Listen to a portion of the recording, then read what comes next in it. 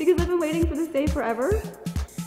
Do you think I'm gonna like have two cocks like here and they're gonna explode? I'm just gonna duck like that. No. So, I have faith in so you. there's nothing to be nervous about then. No. So I'm not nervous. You're not nervous. Hopefully the guys aren't nervous. No, they'll be nervous because they're getting to be with you today. I just hope I do a good job and please everyone same amount. And of course, I need to be satisfied as well. How are they going to satisfy you? Well, it's kind of like a reward at the end, like five rewards. So if I get all five on my face, so I did a good job and I'm happy. So you've been waiting a long time for this day.